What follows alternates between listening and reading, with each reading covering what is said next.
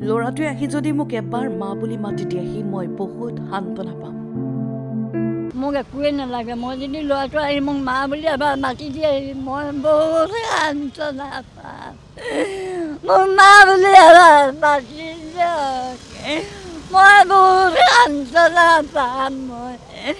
মোক ৰাইজে সেইটো সহায় কৰি দিলে হ'ব মোক একো নালাগে। মোৰ ল'ৰাটো নহ'লে মই জীয়াই থাকিব নোৱাৰোঁ।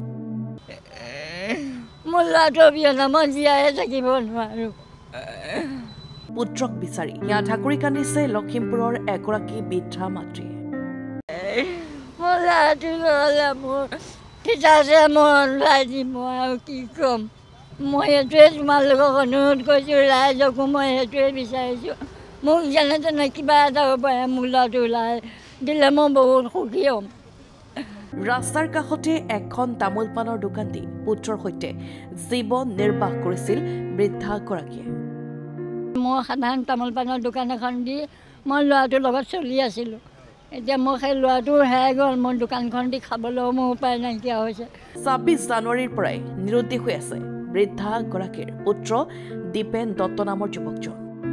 মোৰ ল'ৰাটো ছাব্বিছ তাৰিখৰ দিনাখন গধূলি চাৰে আঠটা বজাত ঘৰৰ পৰা মাংস আনিমগৈ বুলি ওলাই গৈছিলে। ওলাই গৈ ল'ৰাটো বৰ্তমান এতিয়ালৈকে আহি ঘৰ পোৱা নাই। মাতৃক মাংস আনিবলৈ যাওঁ বুলি কৈ ওলাই যোৱা জাপি সজ্জাৰ দীপেন আজি পৰ্যন্ত ঘূৰি অহা নাই ঘৰলৈ। মোক এষাৰে কৈছে মা মই আজি ছাব্বিছ জানুৱাৰী মই মাংস অকণমান খাওঁ। তেতিয়া মই ক'লোঁ যে এতিয়া গধূলি হ'ল মাংস খাব নালাগে। তই ঘৰত শুই থাক। সি ক'লে নহয় আজি ছাব্বিছ জানুৱাৰী মই মাংস খাম অকণমান। সেই বুলি সি মাংস আনিবলৈ ওলাই গৈছে। ওলাই গ'ল যে গ'ল মই বহি আছোঁ ল'ৰাটো আহি ঘৰ পোৱাহি নাই। বৃদ্ধা মাতৃগৰাকীয়ে লখিমপুৰ সদৰ থানাত এজেহাৰ দাখিল কৰিছে যদিও কোনো সন্ধান পোৱা নাই এতিয়াও। আৰু কি থানাই থানাই জনাম বুলি ক'লে থানাই থানাই ফটো দিম বুলি ক'লে। ছাব্বিছ জানুৱাৰীৰ পৰা একো উদ্ধাৰ কৰিব পৰা নাই কোনো ফালৰ পৰা একো পোৱা নাই মই মাতৃৰ মতে মানসিকভাৱে দুৰ্বল বৃদ্ধা মাতৃগৰাকীৰ পুত্ৰ দীপেন দত্ত। মোৰ ল'ৰাটো একেবাৰে অকৰা জ্বলা ল'ৰা। ল'ৰাটোৱে মানুহে যিটোকে ক'ব সেইটোকে মানি ল'ব।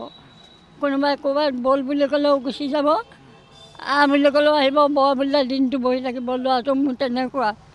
মই সেই ল'ৰাটোকে লগতে লৈ জীৱন যাপন কৰি আছোঁ। এতিয়া সমূহ অসমবাসীলৈ বৃদ্ধাগৰাকীৰ আহ্বান তেওঁৰ পুত্ৰক বিচৰাত সহায় কৰিবলৈ। ৰাইজক মই এটাই অনুৰোধ কৰিছোঁ যাতে যে যেনেকৈ য'তে লগ পাওক ল'ৰাটো মোক যেনে মোবাইল নম্বৰ এটা দিম সেই নম্বৰ মতে আপোনালোকে মোলৈ ফোন কৰি হ'লেও জনাব। আৰু যেনে নিদিয়ে আমি গৈ ল'ৰাটো উদ্ধাৰ কৰি আনিম। খালি ল'ৰাটো ক'ৰবাত দেখিলে আমাক ফোনৰ মতে জনালে হ'ল। কোনো লোকে যদি তেওঁৰ পুত্ৰ দীপেন দত্তক দেখা পায় তেন্তে যোগাযোগ কৰক। Nine three nine five double six one six three two number.